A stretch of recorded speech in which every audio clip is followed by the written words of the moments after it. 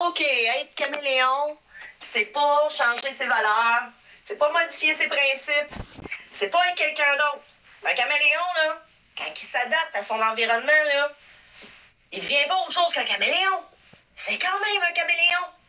Par contre, le mot magique là-dedans, c'est adapter. Un caméléon, là, c'est garder ses valeurs, ses principes, mais les exprimer dans un langage différent. Notre interlocuteur va être amené à mieux comprendre. Pas quelqu'un d'autre quand tu dis ta phrase en français ou en anglais. C'est juste que tu l'as dit dans la langue que la personne en face de toi comprend. C'est ça, être caméléon. C'est s'adapter à la personne qui est en face de nous pour pouvoir faire passer ou communiquer notre message de la façon la plus efficace possible pour les deux.